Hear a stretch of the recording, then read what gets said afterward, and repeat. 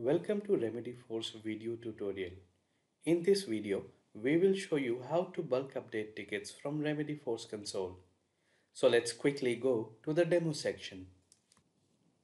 To update multiple records for any module, we need to make sure that the Enable Multi-Record Updates in List View checkbox is checked. And in order to do that, click on Remedyforce Administration tab click on application settings go to consoles and check if enable multi-record updates in list view checkbox is checked. To edit multiple records click on Remedyforce console. From the view menu select the required module. So here we will select incidents Select checkboxes for the records that you want to edit and click on update.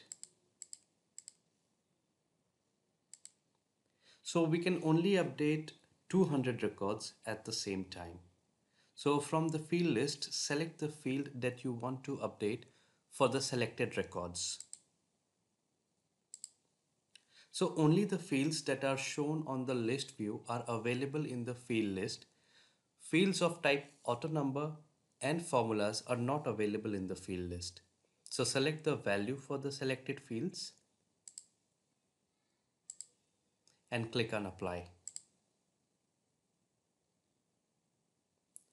After seeing this update multiple record message, click on OK.